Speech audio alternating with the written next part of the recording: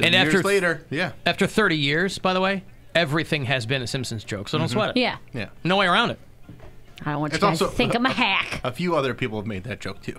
Okay, well, I'm whatever. just saying. I'm, I'm saying it's not a. It's This a guy. common joke. I'm not over trying here. to belittle your This joke. I'm saying it's okay to make Do you that believe joke. this, Helen? I don't believe it at all. No, I do not I- I'm believe saying it. John Mayer doesn't think you're funny. Okay, well, mm-hmm. I'd still marry him. So You'd still marry John Mayer. no, I couldn't. I couldn't. you couldn't marry someone who didn't think you were funny. In no regard, no, I don't think so. It's John Mayer. But he doesn't. uh, What? How are we gonna have a conversation? Okay, He just like talking about your life and cares about who you are. where's the line? What if somebody thinks you're mildly humorous? Fine. You'll take mildly humorous. Well, because you said everything else is perfect. Yeah. Yeah, Okay. I'll take mildly humorous. You gotta. I mean, I would go insane trying to make that person laugh. They think that you're mildly humorous. Wouldn't it be a Can't relief? believe that you're a professional comedian.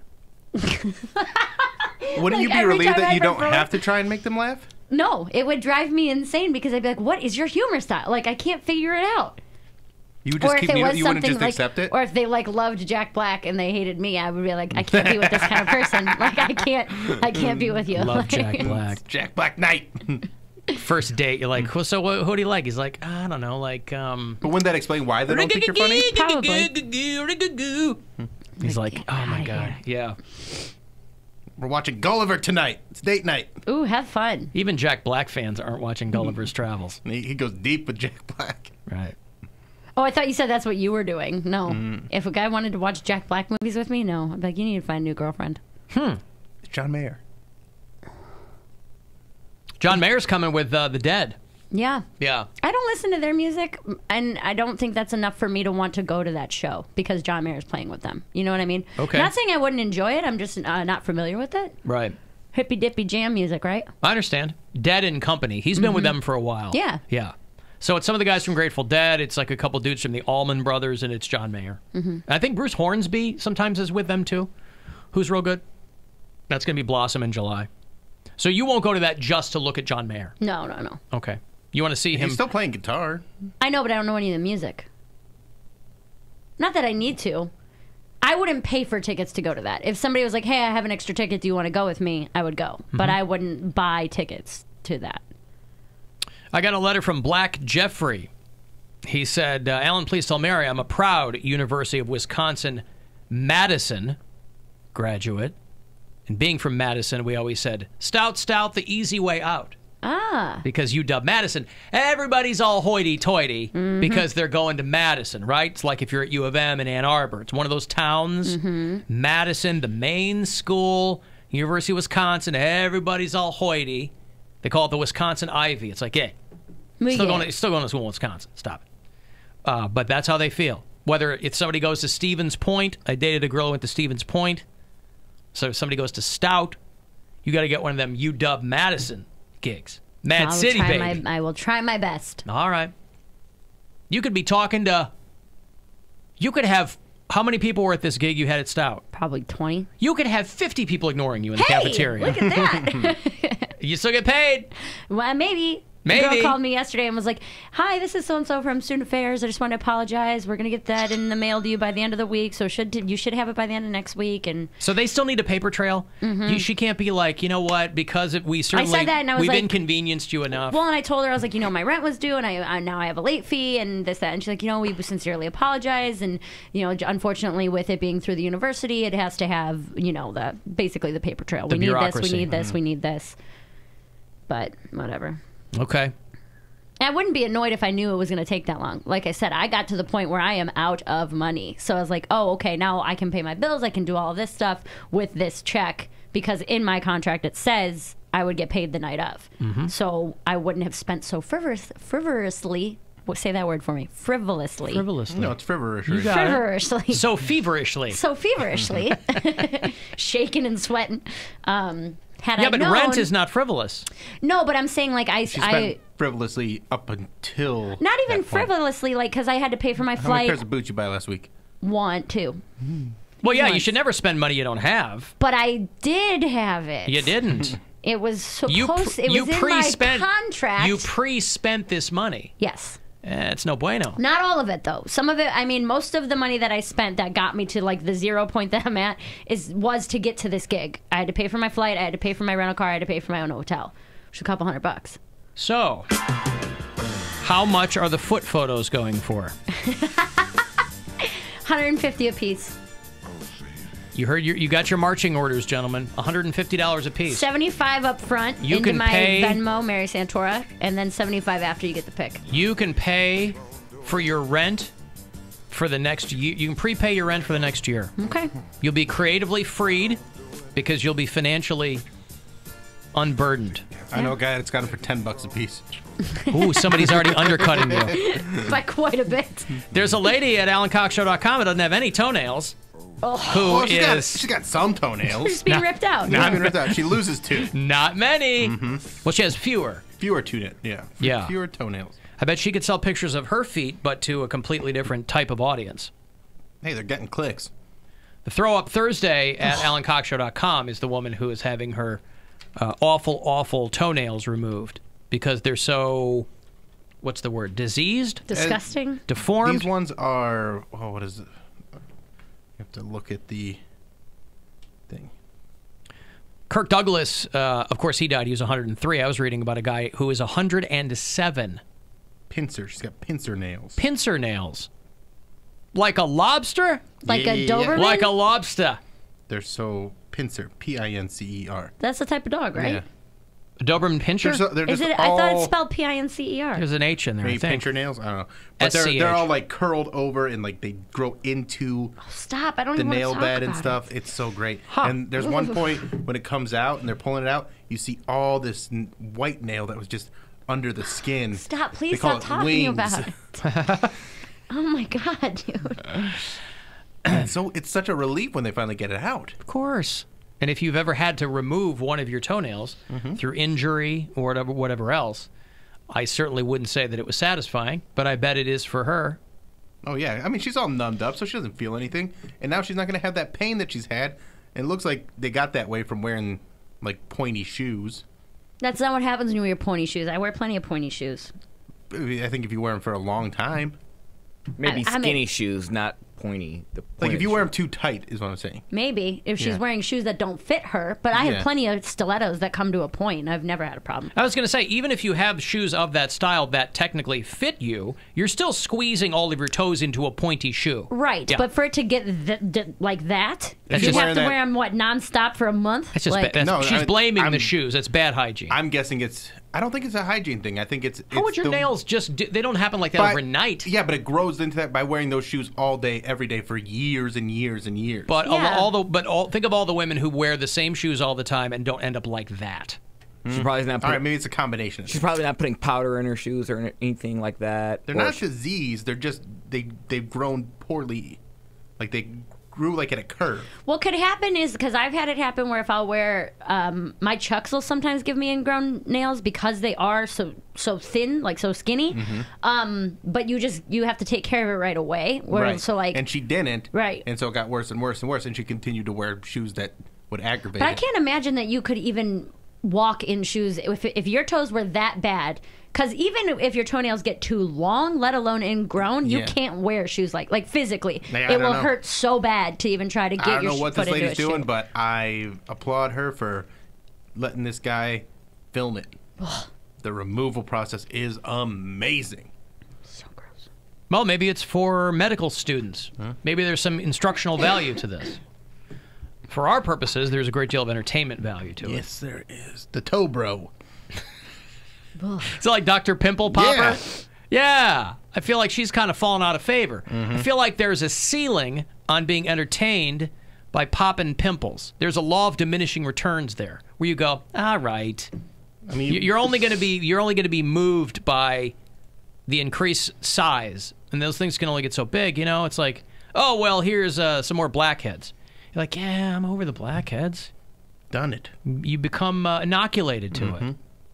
That's why I think that this grosses me out so much is too because like you guys are like oh I love watching it or whatever like wh- at what point is are you going to be desensitized and then you need something even more gross and even more pussy and even more yellow Even more yellow. whatever I just go down this well every once in a while. I don't go down it too often. But uh, once a week now, yeah, now that I'm back on this, uh, it's about once a week. Yeah, I'll find something that's rather gross. Yeah, enjoy it. sometimes just exposing yourself to something that is um, and it's medical kind too. of terrifies you to some degree. You know, It's- it's, a it- way to to face your fears. it's one thing it, when it's people that are just ripping out their toenails or pulling out a tooth or something, which I, I, can think of a good tooth removal video that I enjoy. Uh, but it's like, Self-removal. yes, uh, in a parking lot uh, or no parking zone is the one I'm thinking of. He uses this guy uses like a broken knife and just rips his tooth out. There you go. Yeah. He doesn't even want his teeth parked in his mouth. That's how seriously this guy takes He posted follows- signs. follows But don't rules. worry, he He's cleans off his knife in some Pepsi. He gets all the dog food off of it by cleaning it off in some Jesus. Pepsi. Why did that tooth have to come out, or was he doing it for It the hurt so the bad gram? something. Oh, yeah, he had a bad tooth. He had uh, to remove a tooth that was uh, dead. That's what you get, kids, when you drink tooth. Pepsi. Yeah. When you drink Pepsi and eat dog food, you better have a, a rusty knife ready. His name's Fat Smoker. Shout out YMH. You can't afford quality dental care. You're going to need a knife, and uh, that, that's it. Mm-hmm. A knife. Yeah, he just pops it out. You can hear it when it pops. It's so bad. I was going to say, if the tooth is that bad, it's not going to require too much work to get it out. Mm-hmm. It's probably already hanging on by a nerve. Yeah. You know, you just remember when you I were mean, a he was working at it. Like he was. I don't think it was quite ready to come out. He he worked that knife in there and got it out. It was. Come on. Knife. It's bad. Yeah. I I'll show remember when I the was a kid and I'd have No, a, I'm not gonna watch that. When I was a kid with a loose tooth, I used to love getting them out, like turning them, Oh, yeah. twisting them to get them out. Twist 'em Oh, I around. hate. Oh, man, My dad would feeling. always do the thing where he would take like a towel, like a hand towel, and he would say, "I just want to dry it off. I can't see it if it like I can't touch it because it's you know you have spit on it." So then he would we'd be like, "No, no, no, okay, just dry it off." And every time he pulled it out, that was every single time, up until I was like, "What? When do you stop losing teeth? Ten? Hmm. How was he able to fool you every time? I Is my because question. he would be like, "No, no, no, for real this time." Like he would tell us, "No, no, no." He'd lie to you And every just- time. And every time we're like, "Okay, but just dry it off then." What was the obsession with dry teeth? Well, he would. He's That, that- that's what that he would say. his He couldn't. He couldn't get in there because there was like saliva, so he can't look. He can't touch it to see how loose it is because of the saliva. So he'd have to dry it off. Hmm. You guys believed that He's our dad. repeatedly. We're seven. Right. Okay. Just don't. Just don't pull it out. Except after the second or third time he does that, You go. No. you go, "No, I know what you're going to do." I don't know, man. Wow. I uh, I enjoyed that too. Like I would, once I had a loose tooth, I would just start twisting and twisting, and you could feel like the fibers break. Mm-hmm. Oh, I love that. Yeah, me too. Or I like was you take your tongue and push it all the way forward. Yeah. I was not going to wait for it to organically come out. Right. I'm like, I want my 25 cents tonight. now. Tonight. I didn't realize I was spoiled until I got older, but I would get like fibers, like Nice. five dollar bills or like at least three dollars each tooth. Like you guys got change. We I think I got money. like a dollar, maybe Yeah, I got a quarter. cents. We never got anything. Fifty cent piece. I don't think at least. I remember one time I Five dollars for a tooth. Uh huh. But, but my mom used to compensate because we didn't have a dad. Uh, so for a tooth. Two Alan? fifty each. It's a tooth. So your mom would just overpay for everything because you. What does not having a dad have to do with your she tooth? would she would spoil us in every aspect possible, like with toys or like anything to distract us to make it seem to overcompensate the I fact that we didn't have a father. So everything was, you know, above and beyond. And I didn't miss and my how'd dad. that work out for her? I mean, we didn't miss our dad. You can't miss something you never had, really. So yeah, it, it worked. But I didn't realize I was spoiled until I was older because I was like all, I mean, all my other friends would tell me they're like, "You got five dollars for a tooth?" I'm like, "Yeah, the tooth fairy like she be giving me money because my teeth are great." Wait, did you think that the tooth fairy was compensating for you having no dad? No. Why was the tooth fairy overpaying? I fully I understand. thought if I you- had, I, but that's the thing. I didn't know she was overpaying. I didn't know people got quarters. Like, who gives change? I so, see. so when I would go to school and I'm like, guys, like, I got five dollars for it. They're like, whoa, you got a five dollar bill? I'm like, you didn't. They're like, Plus, no. the tooth fairy, you know, it makes sense that you'd want to carry paper bills because the change would just weigh you down and make it harder to fly Yeah. house to house. So the paper money, it's practical. you know what I mean? Yeah, yeah, it- that makes sense. I, I caught my mom one time. I, I was asleep, and I you, you put the tooth underneath your pillow like I did, but I used to put it in like a little um, pill bottle, like an empty pill bottle. My Mm-hmm. mom had plenty of those laying around the house for whatever reason. For whatever out reason. your mom's an addict. She's trying to, she's, not an addict, she's but trying like, to sedate herself after days and days with Poundcake and his brother. No, it- we just had pill bottles. I mean, she was a nurse. I don't know how she got them, but pill bottles. Um, and then I would put it in there, and then I would. I woke up during the night, one night, and she was taking the pill bottle out. I'm like, "What are you doing?" She's like, "Oh, the tooth fairy came. I'm just changing it out so you could sleep better or something." She's like, "Isn't that hard? You can't feel that?" I was like, "No." She's like, "Well, yeah, this is a lot smaller. It's easier to stuff the money in there." She come up with some ruse. Some And how old were you? Uh, Fifteen. Old enough to know he better, in a fist probably. fight. You were tooth old enough to- knocked yeah. out. and so she put the. I was like, oh, okay. I was like, oh, how much did I get? She's like, look at that in the morning, and then she put the pill bottle back underneath my pillow. I was like, okay, Wow. yeah, they, they could have been my pill bottles for all I know. I don't know. I was a kid. So how old were you when you found out that the tooth fairy was not also paying your uh, phone bill? You, you mean the tooth fairy's not paying for my car insurance and my your phone car bill? insurance. Oh. Hey, I, I, I need the number for uh, for customer support or something. That auto insurance fairy, it's not coming across with what I need. Like a good That would be- fairy paying your car note.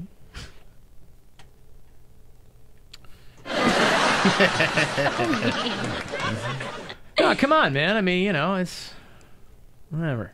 You fairy. Right. Yeah, okay. Well, five dollars. Congratulations. I didn't get no five dollars for two. But boy, tearing them out were great. I did that for free. I did the work for free. It was for the love of the game. It wasn't for the 25 cent piece. Did I want to stock them up because I was going to the arcade? Of course I did. The teeth? The quarters. Oh. Actually, it's funny you mention that because there was a very short lived uh, arcade uh, near my house where the guy retrofitted all of the most popular arcade games because of the demographic that was coming in there, you know, young boys from 7 to 12. And he retrofitted all those games so that if you didn't have a quarter, you could uh, uh, insert a tooth and play the game that Or way. he called himself the Tooth Fairy, and you brought in teeth. He kept them for whatever he wanted, and was like, "You get three free quarters." That's per right. Tooth. That's And right. then this weirdo's sitting on a t- pile of molars. Oh yeah, yeah. He had a big uh, when they finally arrested him years later for what I assume was an unrelated crime. Oh boy, they found a huge uh, plexiglass uh, container full of children's teeth. Yeah. Yeah. He tried to explain to them, guys, there's nothing nefarious about this. Yeah. I just have a giant container of children's teeth. They're just doing experiments. They didn't all. smell them. They didn't believe Yeah. him. smell like children. They didn't believe him. They hauled him off. Hmm. They said, "Oh yeah, you got all these teeth. Where are the bottles of milk that you're supposed to put them in?" He didn't have an answer for that. didn't have an answer for that. They put them in a paint can, uh, a spray paint can to. Yeah, when you shake it up, that sound, it's a kid's tooth. Teeth. There you go. Or the thing at the bottle of a can of Guinness. Oh yeah. Yeah. It's a tooth. Oh, my tooth is in a. All right. Hey, Woody. Dylan, Yes. how's your day, brother? Good. What's up? Uh, nothing. I'm just sitting here enjoying a piece of horehound candy and a couple fingers of Grey Goose. Horehound candy. Well, I, I like the way Woody lives. He's at the lake house. He's eating uh, candy and vodka. That's living the Yeah. life, boy. That is Yeah, the I- life. When was the last time you had a piece of horehound candy? Not for Probably never. really. Know. It's definitely it's definitely an old timey old timey thing, and they are just completely horrible. Haven't been to a Cracker Barrel in a long, long time. right. Yeah. But uh, you guys are talking about uh, losing teeth as a kid and getting them pulled out. My mom had a really weird way of doing this because I was so deathly afraid of anyone touching my my mouth when I was a kid. You know, I wouldn't even let people look in my mouth. And but as soon as I had a loose tooth and my mom found out about it, she would say, she would like, uh, "Why don't you have a, a piece of saltwater taffy? You know, I know you like saltwater taffy." And she would just let me chomp on this stuff until eventually it would just pull it pull it out. You know what I mean? She didn't uh, take a piece of dental floss and tie one end to the bumper of the car. I just need your car, No, yeah, your teeth to be more would let- sticky so I can pull it that, out. But I, I would certainly, I would certainly eat the candy that she offered me that would end, eventually yank it out. You're like, Mom, don't you have any horehound flavored taffy? You know how much I love horehound, Mom. But a mint aficionado. What's horehound? Mint? Mm. All right. Okay, thank you, Woody. There's Woody. Two fingers of Grey Goose. Some horehound candy. He's a happy man. Hey, our buddy Rob Ward is, as the kids say, in the house. He's an alum of the Alan Cox Show Comedy Tour. You saw him last year. He's going to be at the Funny Stop next couple of nights, too. So he'll be uh, back to join us shortly. 35192. You want to send me a text? Uh, you can hit us up at alancoxshow.com. The Alan Cox Show 100.